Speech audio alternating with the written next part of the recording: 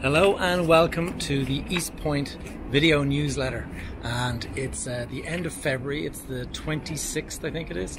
And we are here outside the football pitch and the tennis court. The reason I thought I'd start this video off with the uh, this in this location is because we have just finished a complete refurbishment of the tennis and football area. So have a look at that new tennis surface it's pretty nice. And in addition to that, we have also, I don't know if you can see it up up, up there, we've we've completely replaced the overhead netting and the side netting. And then in addition to that, what we have done is replaced all of the side panels in the uh, the football pitch. So if you look in behind me there, you'll see all of this new black boards. They're all brand new. Um, the old stuff had gone and rotten. So between the new nets above and the side nets and the new boards and everything like that, this is spanking new. It's in great shape and it looks really, really good. And um, the football pitch actually, the one thing that we're missing is a new set of goalposts. If you have a look there, those are kind of old goalposts. They're temporary. Um, we've actually ordered new ones so that everything will be new. And the only thing that's left to say is I got an email today of all days from Hannah and uh, she's working in the park here and she came back with a suggestion that could we put in a basketball hoop somewhere in the park? Great idea hannah if you're watching. Uh, we're going to look into that. I just don't know how these surfaces work for basketball um, usage. So it might be that we can't do it here, but we're going to have a look around and see if it's possible. And um, keep the suggestions coming. And uh, yeah, I'm going to take this video inside. Come on.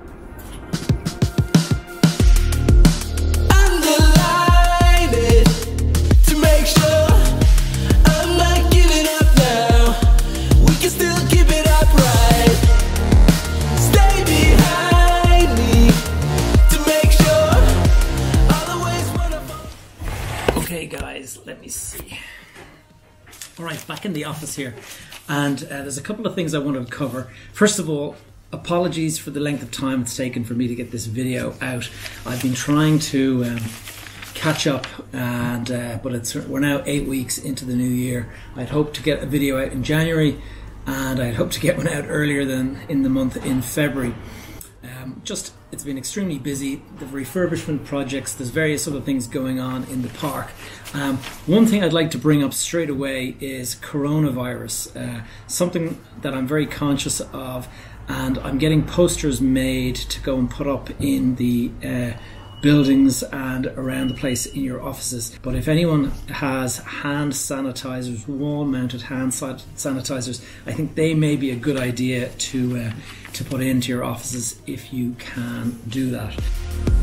We're still running. I'm not sure I can still keep it up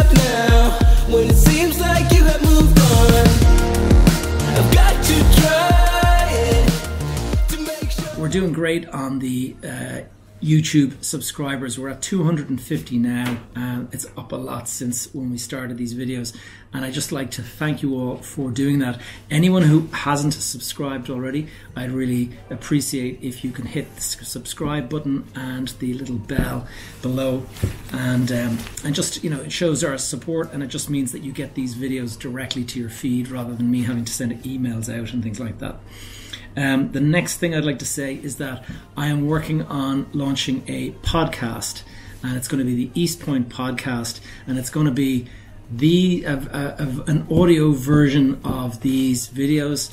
Um, they'll probably run a little bit longer, um, explaining maybe in a little bit more detail, and also we're thinking about having possibly conversations with occupiers here in the park and just you know a little bit of interest for those of you who might be interested in podcasts. I know it's becoming a big uh, medium that a lot of people are starting to listen to.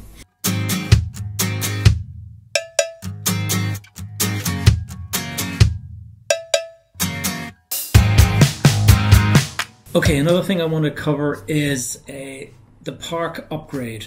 Um, about two weeks ago, I think it is now. No, it's actually three or four weeks ago, I did a presentation to all of the occupiers, uh, facility managers in the in the park, and um, I presented uh, a big a presentation with a lot of boards like this one here that um, were outlining what our plans are for the park and um, what the plan is to actually start in the summertime with the with work that'll actually basically lead to bicycle lanes going in in the central core of the park. And we're also looking at the uh, the entrance road from Alfie Byrne Road to actually have a dedicated cycle lane in. And we're also looking at extending the left hand traffic lane uh, for the people turning left uh, 2020 is going to be the year of the East Point community. That is sort of where I'm coming from with this.